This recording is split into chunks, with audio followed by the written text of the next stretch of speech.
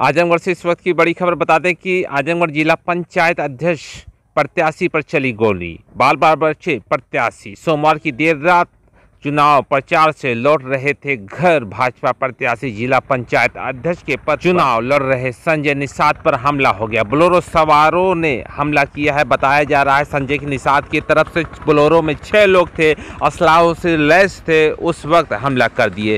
हालाँकि संजय निषाद अपने गाड़ी में, फार्चूनर गाड़ी में पाँच लोगों के साथ जा रहे थे। पीछे भी उनकी तीन गाड़ियाँ लगी हुई थी, उनके समर्थकों की।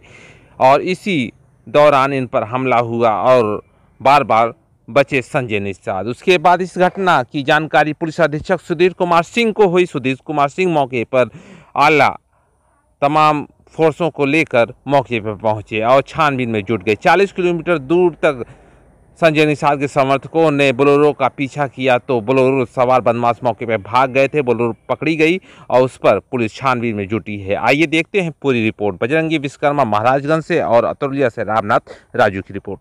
सर जो गोलीबारी हुई है क्या मामला है सर? देखिए बीती रात लगभग 11 बजे श्री संजय निषाद जो कि जिला पंचायत अध्यक्ष के प्रत्याशी हैं भारतीय जनता पार्टी तरफ़ से उनका मेरे पास मेरे मोबाइल पर फ़ोन आया था कि आ, कुछ लोगों द्वारा मेरी गाड़ी पर गोली चलाई गई है और वो गाड़ी मैंने पकड़ ली है। मैं तत्काल मौके पर पहुँचा, अन्य पुलिस अधिकारी भी मौके पर पहुँचे और जाँच पड़ताल की। तो इनके द्वारा बताया गया कि एक पिकअप वैन जो कि पीछे से खुली हुई थी ओपन बॉडी की थी, उस, उसमें कुछ लोग कौड़िया बाज़ार से इनका पीछा किया और इनकी गाड़ी से सटाकर इन पर फायर किए और जब ये तीन गाड़ी से, ये खुद भी तीन गाड़ी से थे और उसमें सभी गाड़ियों में इनके समर्थक भरे हुए थे। जब ये पीछा किए तो तहबूपुर क्षेत्र में नहर के किनारे आके वो गाड़ी छोड़ के पिकअप वैन छोड़ के भाग गए। इस संबंध में मेरे द्वारा मौके का निरीक्षण किया गया।